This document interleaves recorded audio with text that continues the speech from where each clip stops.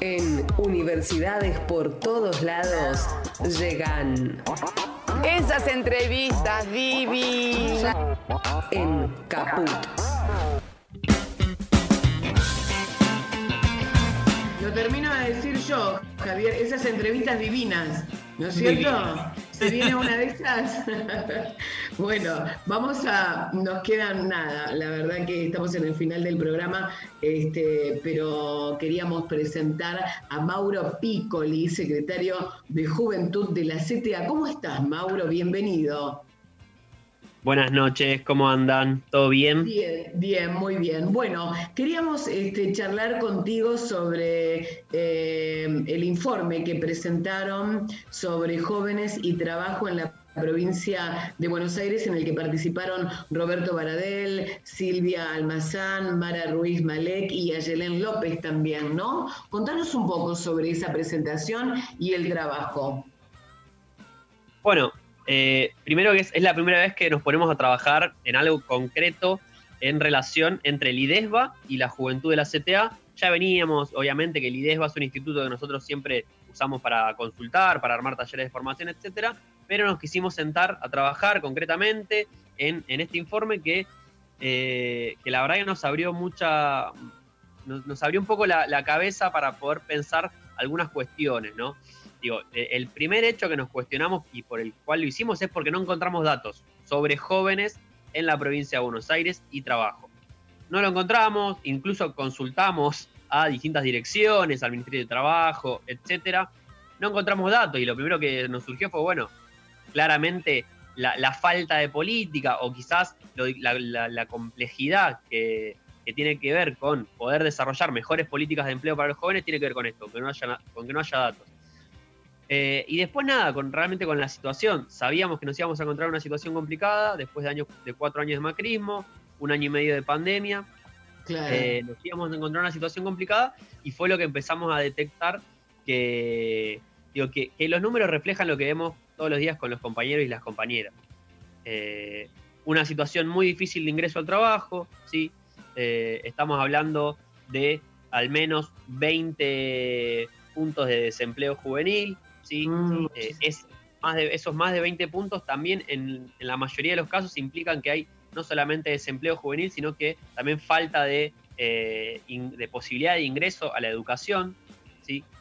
Eh, muchas complejidades. Hay un número que, que a, mí, que a nosotros lo, lo queremos retomar que tiene que ver con de los jóvenes de 18 a 24 años, ¿sí? del total de los que tienen empleo, 38 tienen problemas muy graves de empleo.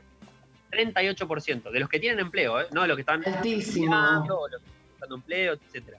Esto, Mauro, ¿qué quiere Y- decir? Digamos que, que reciben salarios muy bajos y que necesitan o, eh, buscar otra ocupación. Sí, primero lo que quiere decir eso es que la mayoría de, ese- de, esa- de esos 38% cobran menos del mínimo salario vital, del salario mínimo vital y móvil. Que ya es bastante bajo. Ya es bastante bajo. También significa que muchos están buscando más horas de trabajo, o sea que ni siquiera tienen la Claro. cantidad de horas que ellos quisieran trabajar. Muchos significa que están trabajando, o la mayoría, mejor dicho, están trabajando eh, de manera eh, irregular, ¿sí? no están contratados legalmente. Muchos son eh, cuentapropistas, muchos eh, no tienen justamente la condición ni siquiera de monotributista. O sea, condiciones de empleo realmente complicadas. Pensemos que hoy el salario mínimo vital y móvil es 21 mil pesos. Sí. Y esa condición se agrava cuando uno pasa de 24 a 29 años. Pasa al 42%. Altísimo, altísimo.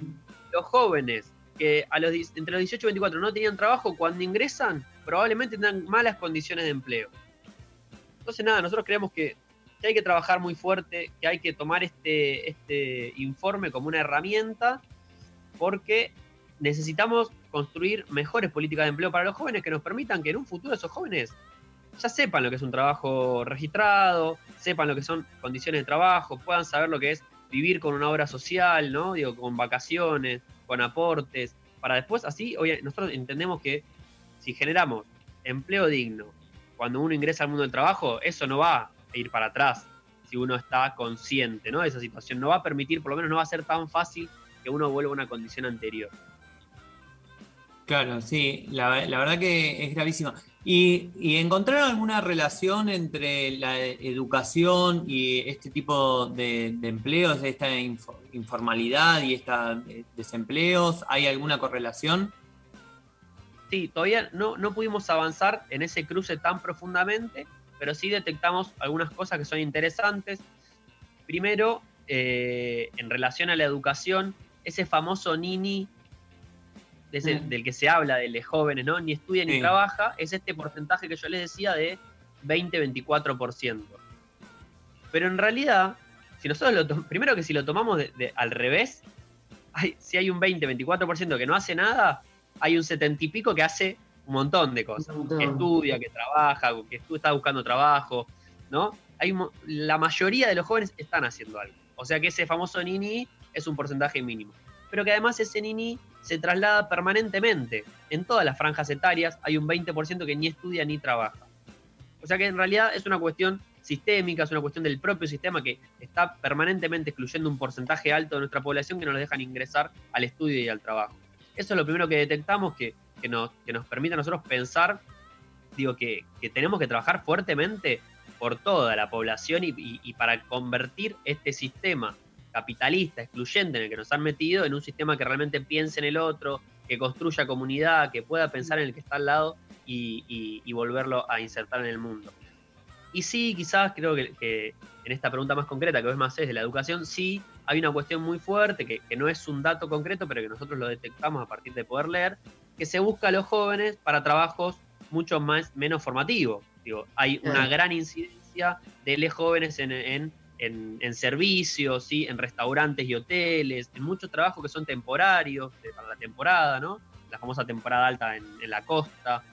Eh, trabajos que no necesitan mucha formación, incluso también en el rubro de la construcción, de limpieza, sobre todo con una cuestión muy fuerte de género, ¿no? Las trabajadoras de casa particulares, el 99% mujeres y los trabajadores de la construcción, 99% hombres, o varones, mejor dicho. Eh, y también esto, ¿no? Trabajos que no necesitan mucha formación, que no, que no se los busca con formación, se los busca así, eh, agradecer si, buscan que termine el secundario. Claro. Eh, esos están destinados para los jóvenes y sí hay una diferencia, una modificación en la, en la composición del trabajo, o sea, dónde están los jóvenes y dónde están los adultos cuando hay más formación, ¿no? Cuando hay más formación, hay más gente adulta porque justamente tuvo la posibilidad de tomarse el tiempito de estudiar o ir trabajando y estudiando y tuvo la posibilidad de recibirse en educación, en salud, ¿no? en las universidades, etc. Mauro, eh, ¿dónde podemos encontrar el informe para, profundizar? El informe está en la página de la CTA Provincia de Buenos Aires, ctabsas.org.ar barra IDESBA. Ahí lo encuentran, está completito. Hay sí quizás dos aclaraciones que nos gusta hacer porque las queremos remarcar y queremos seguir trabajando en eso, que tiene que ver con que las juventudes son diversas, ¿sí? No hay una juventud, las juventudes son diversas, hay que contemplarlo así. No es lo mismo yo que vivo en Florencio Varela, una persona que viva en zona norte, con una persona que viva en el resto de la provincia, ¿sí? En una ciudad del interior o en un pueblo del interior. Pero que además también el informe está hecho de manera binaria, ¿sí? habla de hombres y mujeres solamente, porque son los datos que tenemos para analizar. el trabajo está hecho a partir de la encuesta permanente de hogares y la encuesta permanente de hogares retoma los datos a partir de ese binarismo, así que ahí ya tenemos un desafío grande para poder construir con mayor diversidad la, visión de los jóvenes en este informe y, y poder seguir avanzando en esto. Bueno, Mauro, muchísimas gracias. La verdad que muy interesante lo que, lo que nos contás y ojalá, bueno, esto se, revierta, ¿no? De la única manera es con trabajo y, perseverancia para poder instalar este tema y que, y que la realidad de, una vez por todas cambie. Gracias por estar en contacto con CONADU en este programa que es Universidades por todos lados. Gracias a ustedes, compañeros, un orgullo para mí estar acá. Y nada, cuando quieran, cuando necesiten, vamos a ir charlando, vamos a ir haciendo los informes, van a ser de manera trimestral, así que todos los trimestres los vamos a ir actualizando y bueno, a disposición. Perfecto, ahí estaremos dándole difusión. Muchísimas gracias. Mauro Piccoli aquí en el aire de nuestro programa. Javier, que se nos está yendo ya. Se nos fue, de las manos. Se nos fue de las manos. Se nos fue así, como el agua. Bueno, gracias Javier Moscoso, eh, eh, parte de prensa de CONADU, por acompañarnos hoy en la conducción de nuestro programa Universidades por todos lados. Nos vamos a volver a escuchar el próximo lunes a las 7 de la tarde. En la operación estuvo Luis Javier, en la producción general Elizabeth Vega Gron y en la conducción quien les habla Virginia Osan y Javier Moscoso. El saludo lo reiteramos para Mariana Fernández Camacho, que se mejore pronto, y para Pablo Macía, eh, que lo esperamos el próximo lunes. Un abrazo para todos. Saludamos. Buena semana. Chao.